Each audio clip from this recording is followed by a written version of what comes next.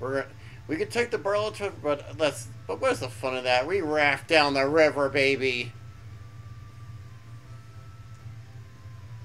Finally, get down the Columbia River, beginning at the Dalles and ending at Willamette Valley, where the Willamette River falls to the Columbia.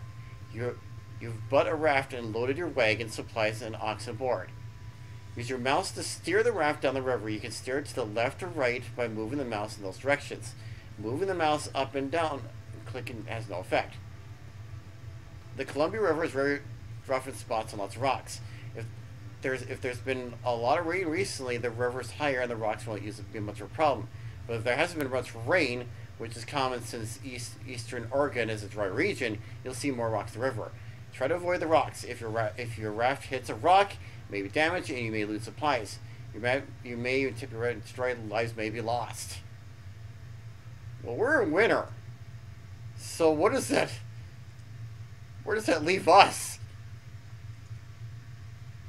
Okay. Alright. I'm gonna do my best not to corner myself.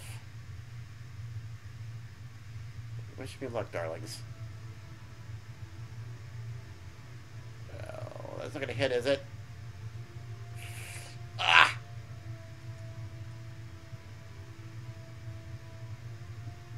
That nicked the raft. I, I, I throw the red flag and I challenge that call. Thanks for the good luck, Andy. So we'll need it. Halfway there. At least we didn't lose anybody.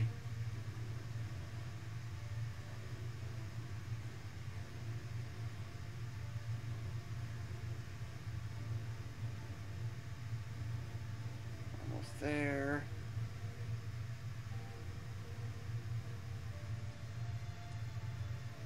Pulling up on shore. Congratulations, you have reached Willamette Valley.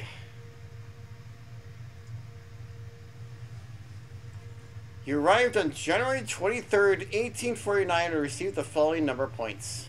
Four people survived, one wagon, one oxen.